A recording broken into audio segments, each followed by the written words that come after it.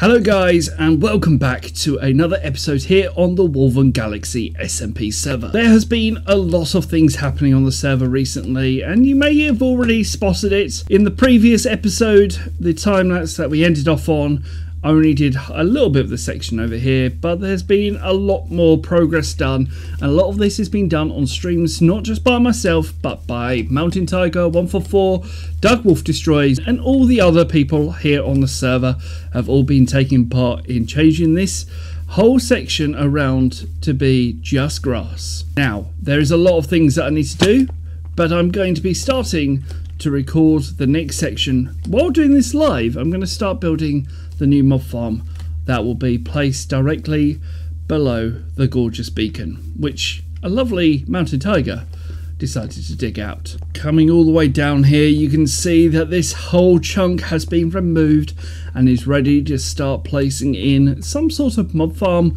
that's going to be automated at redstone. I've got a lot of redstone resources to gather, to craft and also make up and ready to go. So if you're looking forward to the future of this Wolven Galaxy SMP server, then go ahead and click that like button and also click the subscribe button. Ah, Mountain Tiger, Mountain Tiger. A big thank you to Mountain Tiger actually, who's sitting right here. He's absolutely awesome. He did all the building work that happened in regards to this whole section. Um, basically, well, he didn't do all the building work. He did all the destruction. This whole chunk was mined out by this yours truly, Mountain Tiger 144. And, well, I did kind of build the farm, but there was a slight bit of an issue. The video files got corrupted on my hard drive. Yeah, OBS, you're brilliant sometimes, but sometimes you are absolutely terrible, and I mean it seriously terrible. What I am going to do is very quickly show you what a layer looks like up above, and then we'll jump back into the rest of this video. Looking at each uh, each level, uh, Mountain Tiger is going to be my test subject, which is going to be absolutely brilliant because in a second the water is going to be turned on because someone's actually using the farm at the moment. He's going to get shoved down to that little section down there, unless he stands, and I'm not joking, right in this corner. You might just about be lucky, or you might not be. Hi Mountain, this is where Depth Strider books become absolutely imperative. Uh, while he's doing that, this is what happens. There's a torch tower that goes down to the very bottom with a redstone clock. Each layer has a layer that's on and then a layer that's off. As a person presses the pressure plate, that torch will turn off, allowing this section of redstone to be turned off, and that means this block here is no longer powered constantly. This allows this redstone clock to go backwards and forwards by the normal ether hopper clock. It works brilliantly. It moves the pistons up and down and has a certain number of blocks that moves it about and then very soon one will swap over and that sends a pulse using this repeater into the redstone torch tower all the way up this level. And it's as simple as that. Now let's go back over to the rest of the video where I'm discussing with Mountain Tiger and everything else. Coming to the very back of the whole hopper system once a mob drops down, they head down, the items come down here, head into this drop elevator which heads into the item sorter that is up here sorting out the items away from string, rotten flesh, bones, gunpowder, you name it, it's sorted out into its reasonable chests. This is the design of the killing chamber, or where you stand to do all the killing and the enchantment and anything that you require. Uh, there's a couple of new members on the server as well. Big, massive welcome to those. Go check out them on the Wolven Galaxy website, wolvengalaxy.com. They're all been added, or just check out us on the Discord. And this bit here is the redstone lever that enables this farm to be constantly active, so you don't have to stand on the pressure plate. Let's see what's next up in this video. One thing I am trying to do this episode as well is try and limit my clips down to the maximum of about 30 seconds long. This includes time lapses, so I do apologise if you enjoy the longer time lapses. This is just an experiment to see how well the retention rates receive in this video right this second. Just down here, our friend Doug Wolf Destroy is currently in the middle of making a parkour course, which I tell you what, looks like it's going to be one very fun, interesting type build, and I can't wait for it to happen. I really cannot wait to actually have some go on it. Now, I must say, I am rubbish at parkour. so this might be a fun episode when that comes out. Stay tuned, click subscribe, and then you'll be able to see when that episode comes out. In between the last couple of episodes, I've also been a little bit busy down here. Now you may notice there's a little of a tripwire hook farm, so it means I can grab myself as much tripwire hook as I could possibly do. I've got a couple of bottles of water because this is also my brewing platform where I've got myself a bit of helpful potions just in case a bit of a PvP happens in the future. As well as that, we also have myself an automatic sugarcane farm which is hiding behind this wall here and we also have a bed here now there is also a little lever or a little redstone torch section so I have a little bit of an escape away from this base in case someone finds it. The next clip is going to be about the mob grinder. Now I do apologise, a lot of these videos have been recorded out of sequence because uh, I've been a little bit busy. Uh, and I've had a couple of issues on the server. The mob grinder's had a bit of an upgrade thanks to Jamdoggy who sent me over a screenshot of how the best way of doing a mob grinder is and how to get mobs very quickly transformed. The only issue that I've got is because mine is too wide for spiders. Sometimes a mod will Sometimes a mob will always drop down in between all the fence posts, which means we always have at least one loss.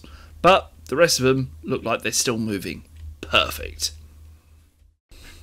Right, so the plan is the mobs go along here, they get pushed along, then go down here, and surprisingly they go back up here and get knocked into there. I have a feeling they're just the right size, that they don't get trapped by the block here and then they shoot up. I think that's the idea.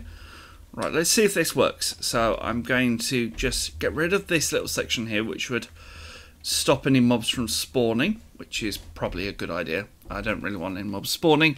And then let's check the efficiencies of this farm. So I've added those modifications in. Let's press the pressure plate, which will send the mobs down by this lovely chute. Here they come. Down they come. Now I want to see, do they get held up at this location when we've just done the modification? Or does it now work a little bit better? Uh, probably having that one single air block probably didn't help. That's a bit better. They're going a lot more efficiently. They're not staying in the area. The only problem is... They're going down in the hole. That's the problem with it with my farm. Because I've got a too wide because of spiders, you will get one or two that's doing that. But it shows they are going a lot better and they're hiding away. Now, the only problem is we're still going to fix this section. But that's not looking too bad. Actually, I think there's a way that I can fix this. Place two signs on either side of this thing, and then place the water bucket on this side, which will then force them over. Yeah, let's do it. Once again, I've pressed myself onto the pressure plate. Let's see what happens. I'm expecting at least one mob to fall down there, just because of how it works. How skellies seem to somehow fall down into that one single spot. But so far, it's not looking too bad. Let's have a look, see how this looks. Much better. We're not getting any of them stuck on this side but they are getting stuck a little bit further downwards. Okay. That's something I wasn't anticipating, so we need to somehow fix this section right there. Some slight modifications later. Let's have a look and see what we're doing in regards to this. We've got one drowned, just hovering there on top of the single centre of the fence post. It's not being forced up, but I think this whole section is helping them, you know, suck through, but hopefully he'll get pushed along anyway. So you might even get a drowned or couple down here, but it depends how this all works. Let's see how well this works here. So we've now got the extra section where I've removed the stair block that was here originally and just placed in some uh, lovely old section of signs. Now hopefully that will mean that the items are just going to come up. Now we've got a couple of items there which unfortunately that happened because I had to kill the mobs that are up there but that's a lot better. They're not staying up there.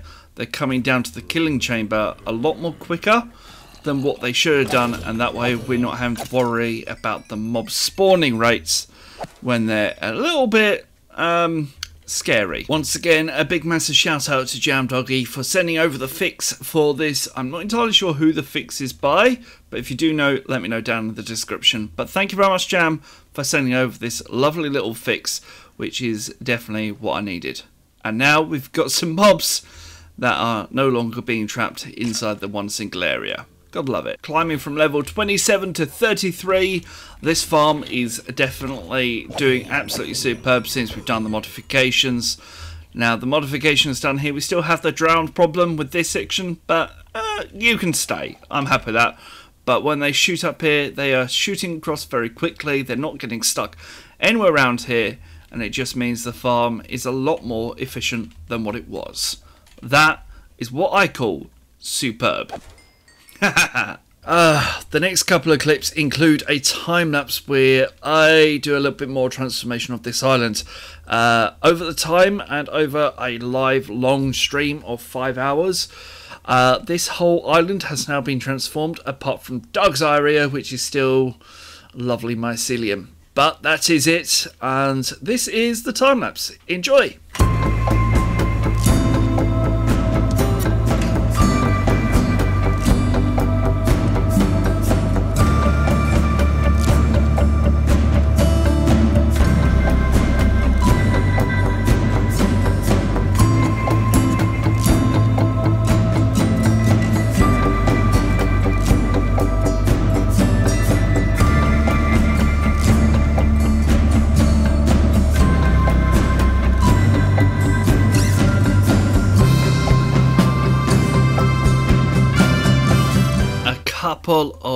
Hours later after a lovely live stream. Thank you very much for people who came and joined me Mr. Brownstone, Mountain Tiger, Doug Wolf Destroy for the raid.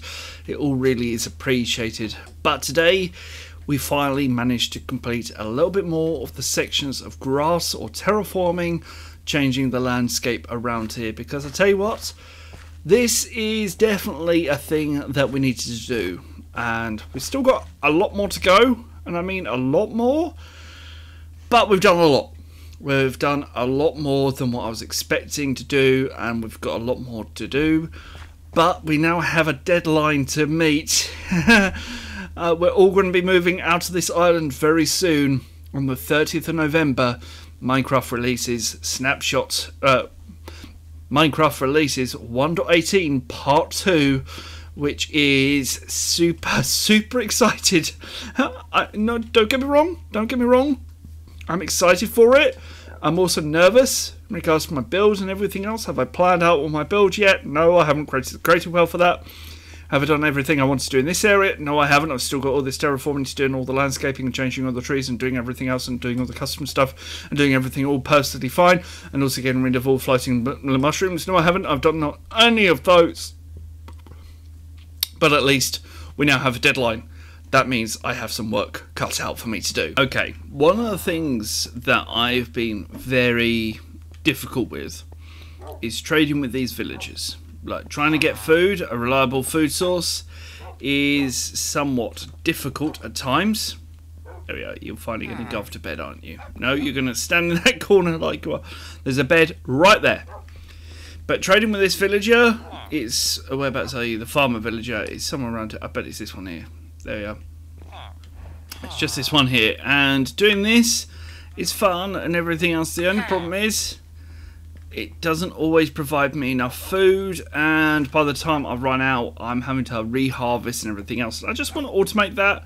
So this area here was going to be my smelter room. I've decided that's going to change and I'm going to have a bit of a hopper room in here or some sort of room in here that I can then do a farming type area just here. I think I've got nearly everything I need and now it's just a case of building this up. So I'm going to do something a little bit different. Uh, now, to make this farmland, of course, I'm going to make sure there's water available for this to reach to. Uh, I could actually use the water as a hopper stream, maybe going into a chest over that side.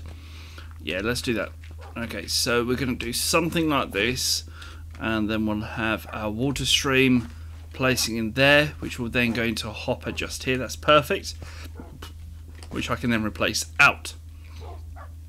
I then need to do myself a favour, and I need to have an observer facing one of these ways. Let me grab some cobblestone as well and just plant this along here. So the idea is is that you have an observer facing towards this block here.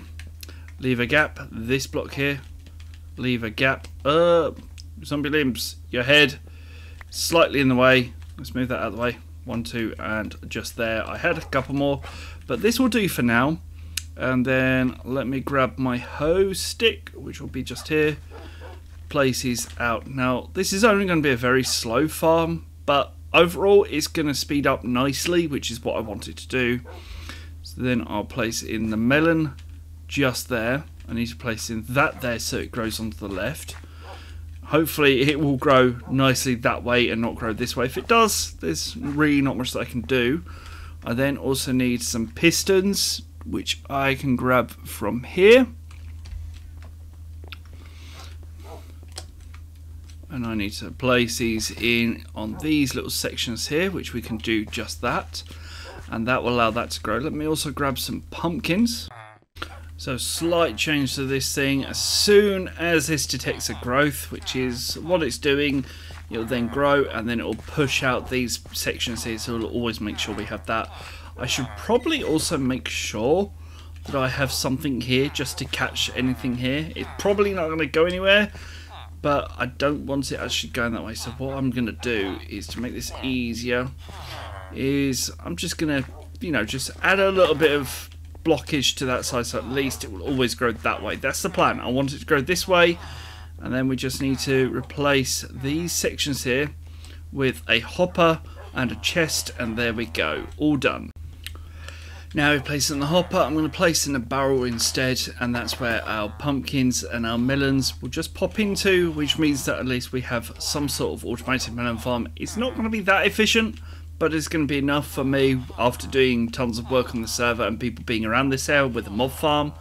This will be enough to get enough food to last me for the rest of this section of this base. This is what I'm doing and I'm currently using a shader pack which I've not used in so long. And this is SEUS Renewed PTGR HR, uh, PTGR H uh, test. Won the test subject. And I tell you what, I love this. This whole resource pack makes my life. I I prefer it. I even prefer the water underground. Well, if it wasn't, like you know, nighttime. Let me just quickly sleep. Let's go into the underground of the water. This is the reason why I like this shader pack. Because in all honesty, you can see and it just looks so much more perfect and more clearer than, you know, Minecraft Water. Uh, yeah, you're not great this is a much better shader pack. So I've been a little bit busy over the last couple of streams. Now you'd have seen some of this in a time lapse, but some of it unfortunately is not in the time lapse because, well, the time lapse wasn't running half the time. So this is what has been done. If I walk over here and just, well, I'm just going to do this. You can see by literally me doing this that the whole Mushroom Island has now been changed away from the mushroom block to the non-mycelium. Now there is some mycelium about, as you can probably tell. I've taken a lot of damage there. Gotta love it. Gotta love it. Gotta love it. Ah. Right, let me go up to here. Okay, so just here, I'm gonna just hover around in this pool for a second. Just here is where we've currently got, and now I am planning on doing this at some point, but I'm hoping Doug will start taking over because this is Doug's area. But the rest of the Mushroom Island has now dramatically changed.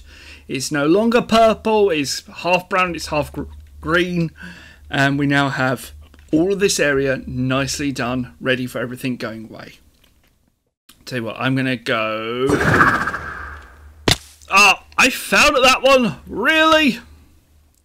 Oh, and by the way, yes, I've got a latest death up there. It's because I died there, but I was in free cam and I went AFK for a sec, so that's the reason why. And I'm going to land on a mushroom, and I nearly died then. I really don't want to die here, so got to have the golden carrot. Now, I know today's episode is coming to an end. It's been quite dramatic. I've looked at the amount of clips I've got, and something tells me I've overdone it again for today's episode. But hopefully you enjoyed it. If you did, do click that like button, click that subscribe button, and also join me on Twitch, twitch.tv forward slash Mission 24 7. And I'll see you guys in the very next stream. Until next time, this has been Mum. I just said this has been Mumbo and I'm out. No, I'm not Mumbo. This has been Manumission and I'm out. See you guys later. Bye bye.